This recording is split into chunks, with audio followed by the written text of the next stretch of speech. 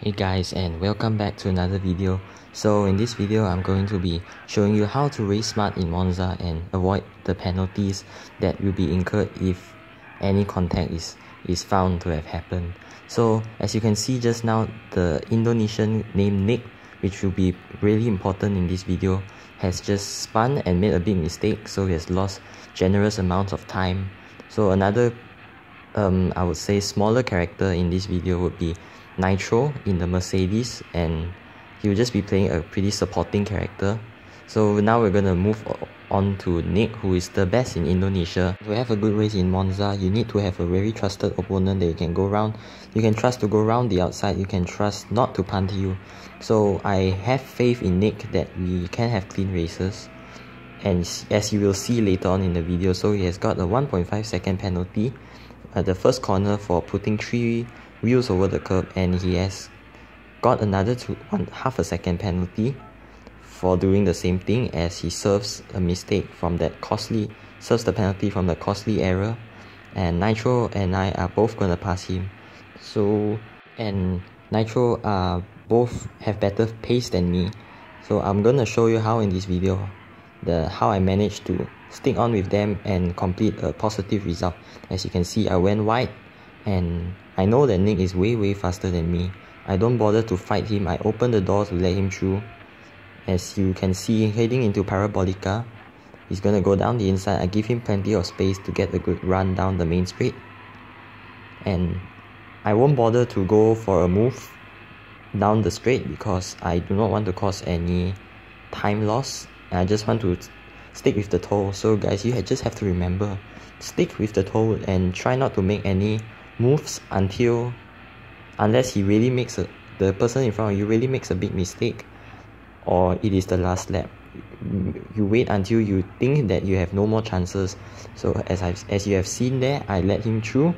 I do not attempt to overtake or do any switchbacks because all these switchbacks is gonna just increase the risk of you hitting into the back of the person in front and costing you a penalty for sure.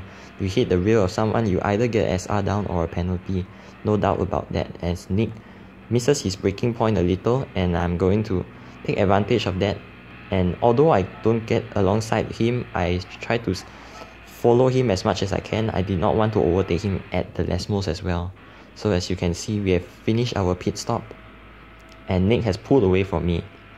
But what you're about to see next is Nick missed his braking point due to having the cold tires.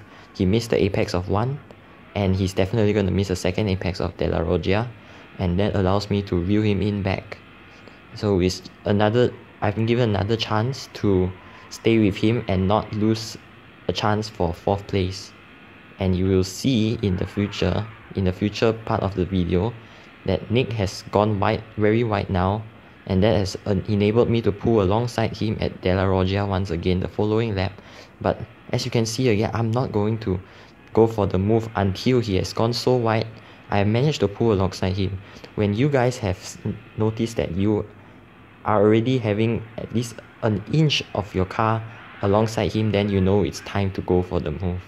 You can't wait any any more any more longer. There's no more chances to pull out from there and from the little contact there, I apolog I apologized to him with the blinkers on and and he forgave me. He didn't really consider it as a mistake and we continued racing. Little contact there, no one really lost out and you can see here I'm gonna open the door at Parabolica again to let him through. Be strategic about where you want to let let a person through.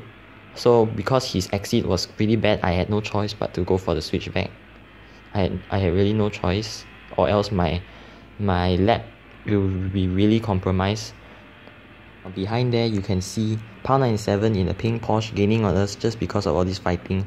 I tried to avoid the fighting as much as I can as I could but there was no chance to avoid because he was already down the inside. As I let him through once again I know he's faster than me I do not want to hold him up. I can just follow him through.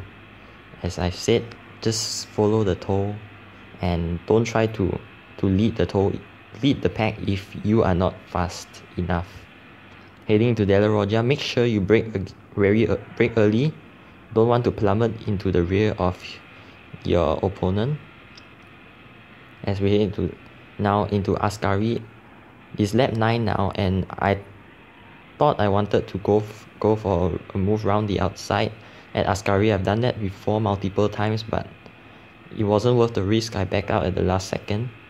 And Paul now has gained massive amount of time on me and Nick as heading into the final corner things final corner of the penultimate lap things are gonna get really really interesting as Nitro in front comes for his last pit stop and we'll see where he emerges as now down the main straight into Rettifilo once more it's gonna be 3 wide potentially 3 wide as Nitro manages to come out 2 to 3 seconds ahead safely ahead and Paul is just gonna get a little too over ambitious for the double dive bomb here he clips me a little and then leaves no space for Nick and Nick definitely didn't really like to be treated that way. After the skirmish that has just happened, the pack has been spread up and my fourth position is secure.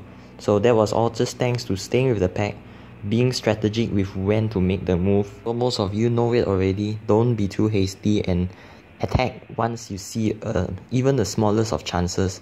As now on the last lap Nick goes for a Daniel Ricciardo dive bomb and he just manages to stick it through. Not the cleanest of moves but I think it's justified for the way Pal has treat, treated him at the first chicane. As now onto the last tail end of the race Pal does not manage to overtake Nick. As I am promoted into third all the way from fifth thanks to a penalty for my fellow countryman Danny who did not follow the tie requirements surprisingly. Anyways, thanks for watching and I hope you managed to learn and avoid any future penalties in the future. I'll see you at the next video. Bye.